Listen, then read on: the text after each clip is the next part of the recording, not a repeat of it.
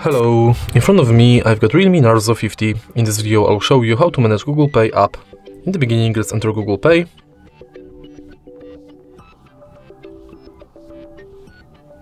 Tap Get Started. And from the homepage of Google Pay you'll be able to add payment method and different types of cards. From the menu you've got access to all of your payment methods, full list of participating banks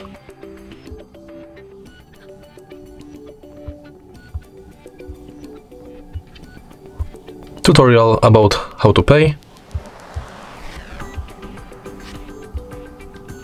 and your activity. In settings, you can enable or disable email updates, Gmail imports, personalization within Google Pay, purchase notifications, updates about your passes, offers and tips, and you can edit your account info. In contactless setup, you can set payment method, set screen lock, check if NFC is on, if Google Pay is set as your default, and if your phone meets security requirements. Then we've got help and support, send feedback, and in the end access to our Google account. And that's it. If you find this video helpful, please leave like, comment and subscribe.